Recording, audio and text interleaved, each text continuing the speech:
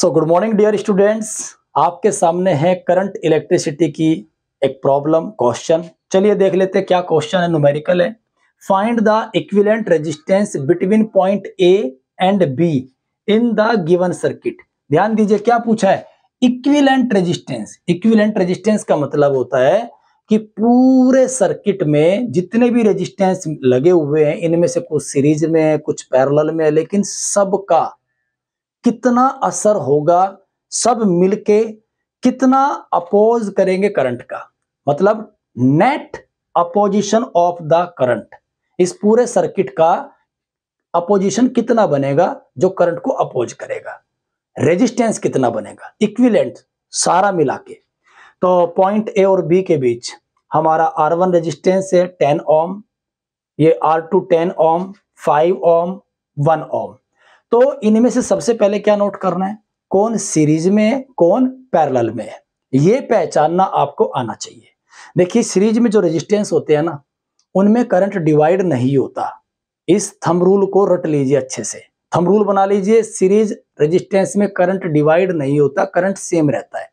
मतलब जिन रेजिस्टेंस में करंट सेम होगा, वो सीरीज़ में यस और जिनमें सेम नहीं होगा, वो पैरेलल। चलिए पॉइंट ए से करंट चलाते हैं। सबसे पहले आइडेंटिफाई करेंगे कौन सीरीज़ में, कौन पैरेलल में। यहाँ से मेरा एक करंट चला। करंट आगे बढ़ा, अभी तक कहीं डिवाइड नहीं हुआ बट जैसे ही इस पॉइंट पे करंट आता है करंट के सामने अब दो रास्ते हैं।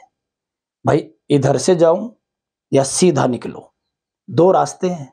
अब वो क्या करेगा? दोनों रास्तों से चला जाएगा, क्योंकि कांटे तो दोनों ही रास्तों पे है। बोले, चल, कोई बात नहीं, थोड़ा सा इधर से चला जाता हूँ, थोड़ा सा इधर से।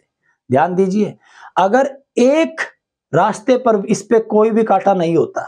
ये रेजिस्टेंस नहीं होता, सीधी लाइन होती तो इसे कहते शॉर्ट सर्किट सारा का सारा करंट सीधा यहीं से पास हो जाता, वो आगे जाता ही नहीं। अगर ये बिल्कुल सीधी लाइन होती, सीधी वायर जुड़ी होती, इसे कहते हैं शॉर्ट सर्किट मतलब करंट को आसान रास्ता पसंद है। जैसे आपको आसान रास्ता पसंद है नंबर लेने का शॉर्टकट ऐसे ही करंट को भी आसान रास्ता पसंद है। राइट नाउ यहाँ आके करंट हमारा दो पार्ट में डिवाइड हो गया, दोनों तरफ़ रेजिस्टेंस है। तो यहाँ से अब मेरा ये और आगे का जो भी रेजिस्टेंस है वो पैरेलल में है। ये आगे का जो भी रेजिस्टेंस है वो पैरेलल में है।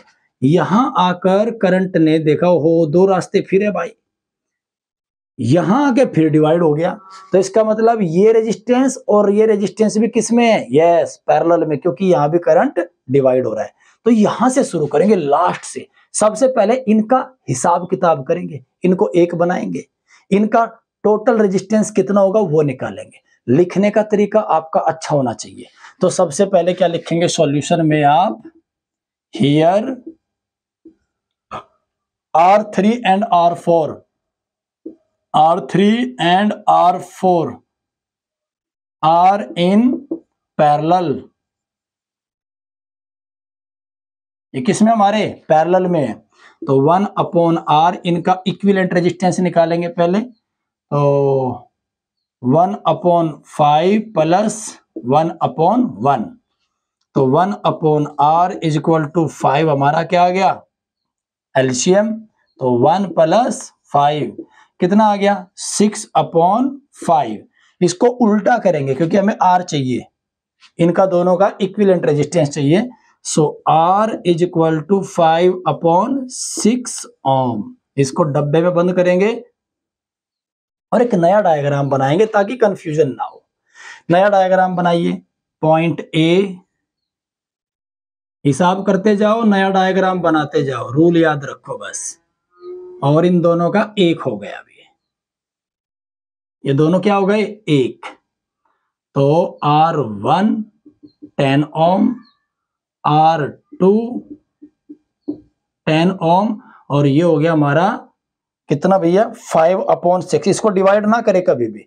ये बाद में काम आएगा। Five upon six ohm. Now this five one six ohm, ये देखो अब, यहाँ पे फिर करंट डिवाइड हो रहा है। ये दोनों एक तो हो गए। इनका तो कर दिया हिसाब किताब। लेकिन अब ये वाला और ये वाला जो रेजिस्टेंस है, ये भी दोनों किसमें है? पैरेलल में इन दोनों का हिसाब किताब करेंगे तो लिखेंगे नाव टेन ओम मतलब R two R two and five upon six ohm R in parallel. अब ये दोनों पैरेलल में है। तो अब इन दोनों का भी वही फॉर्मूला लगाएँगे पैरेलल वाला। राइट? कौन सा? One upon R is equal to one upon R one plus one upon R two. जो पैरल वाला हमारा फॉर्मूला है, वही लगेगा। तो ना आगे कर लेते हैं। चलिए। So one upon R again one upon five upon six ये उल्टा हो जाएगा। Six upon five plus one upon ten LCM लीजिए। टेन ट्वेल्व प्लस वन तो one upon R is equal to thirteen upon ten इसको उल्टा करेंगे तो कितना आएगा? R is equal to ten upon thirteen ohm okay तो इन दोनों का भी अब एक हो गया और ये दोनों एक होके क्या बन गए? टेन अपॉन थर्टीन ओम तो एक डायग्राम और बना लीजिए छोटा सा। चलिए। अब छोटा सा डायग्राम कहा बनाए? यहाँ बना लेते हैं। टेन ओम और ये हो गया हमारा टेन अपॉन थर्टीन ओम ये point A point B ten ohm और ये ten upon thirteen ohm okay अब ये दोनों देखिए किसमें यहाँ से करंट चला, यहाँ गया यहाँ गया, और यहाँ कहीं करंट डिवाइड हुआ क्या? नहीं हुआ। तो इनमें, इसमें भी जो करंट जा रहा है, वो इसमें जा रहा है। तो अब ये किसमें है? सीरीज़ में। तो सीरीज़ वाला फॉर्मूला लगाएँगे।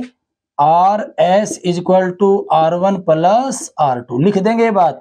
क्या बात लिखेंगे? Now ten ohm and ten upon thirteen ohm are in series दोनों सीरीज़ में बोथ इन सीरीज़ तो कनेक्ट कीजिए दोनों का ऐड कर दीजिए। Ten ohm plus ten upon thirteen क्या आएगा भाई एल्शियम थर्टीन, और कैलकुलेशन करेंगे तो कितना आ गया? वन थर्टी प्लस टेन तो R is equal to one forty upon thirteen. Ohm, या तो आप ऐसे लिख दीजिए, या इसको डिवाइड करके डिवाइड करके लिखेंगे तो ज़्यादा बेटर रहेगा। चलिए डिवाइड कर लेते हैं। तो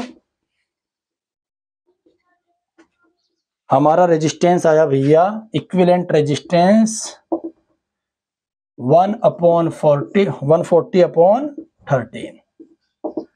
Thirteen one जा, थर्टीन। कितना बचा भैया? वन। ज़ीरो पॉइंट हंड्रेड हो गया।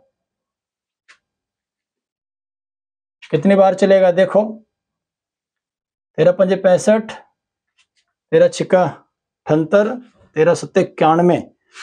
थर्टीन सेवन जा पे चला भैया। तो कितना बचा? फिर हमारा नाइन। फिर सेवन पे चलेगा।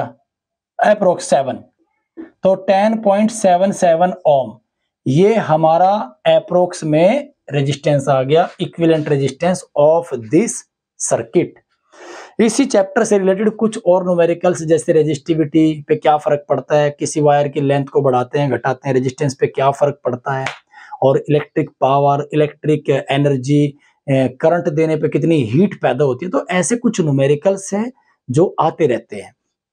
तो सबसे ज़्यादा जो इम्पोर्टेंट है तो वो रेजिस्टेंस पे क्या फ़र्क पड़ता है? लेंथ वायर की हम इंक्रीज करेंगे और उसको स्ट्रेच करेंगे वायर को। लेंथ डबल हो जाएगी ट्रिपल हो जाएगी तो नया रेजिस्टेंस क्या बनेगा? इस टाइप के क्वेश्चन अक्सर एग्ज़ाम्स में पूछे जाते हैं और ऐसे क्वेश्चन भी बार बार आते हैं राइट फिर उसके बाद पावर पूछ लेता है वो और कई बार घर की जो हमारा कंजप्शन होती है इलेक्ट्रिसिटी की यूनिट कितनी खर्च हुई, वो भी पूछ लेते तो ऐसी कुछ वीडियोज़ अब आने वाले टाइम में आपको मिल जाएँगी। तो आप ज़्यादा से ज़्यादा वीडियो को सब्सक्राइब करें चैनल को ज़्यादा से ज़्यादा वीडियो को नहीं चैनल को सब्सक्राइब करें, भाई, और वीडियो को शेयर करें। और thank you God bless you